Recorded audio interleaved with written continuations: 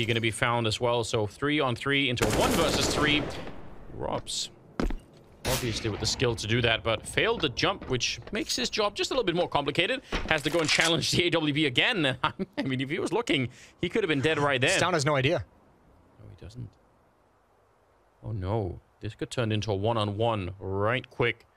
They really don't know. He's gone to check now, so maybe now he's realized and put it together. Okay, something is up. There's not that many positions he could have been in, so I think they realize now. Oh, ooh, still finding the headshot on Stavn. That's ridiculous.